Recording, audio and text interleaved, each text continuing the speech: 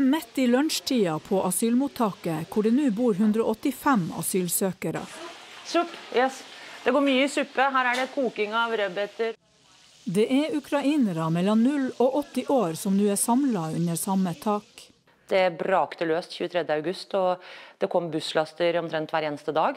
Fauske med 9500 innbyggere har fra før svært dårlig råd, og denne høsten fikk de totalt 435 asylsøkere, og det er få kommuner som har fått så mange som dem. Når vi ikke har noe myndighet til å skulle si nei, så, så er nok den situasjonen svært uforutsigbar og utfordrende.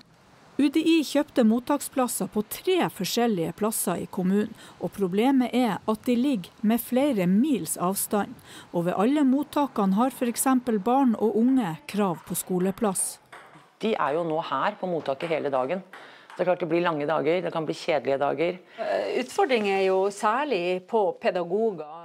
Fauske mangler opp mot elleve lærere, og som andre kommuner sliter de med å få nok fagfolk.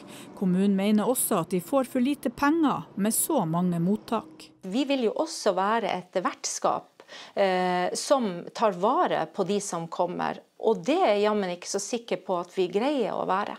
You do the yoga? Yes, yes. Yeah. Hanna er en av dem som nettopp har kommet fra millionbyen Kharkiv. Hun er glad for å være i lille Sulitjelma nå. I came with my mother-in-law, so I'm not alone. and here I have uh, many friends now. We are like a big family. Det er historisk høye ankomster av asylsøkere som følge av krigen i Ukraina, og Norge har plikt til å gi tilbud om innkvartering, sier Justisdepartementet. Satsene som mottakskommunene får skal evalueres til neste år, sier de.